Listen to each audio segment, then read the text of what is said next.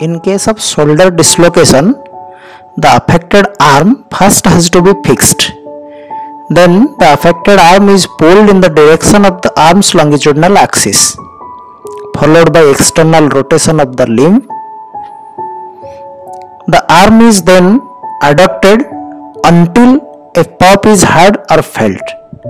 That signifies that the shoulder has been relocated back to its normal position.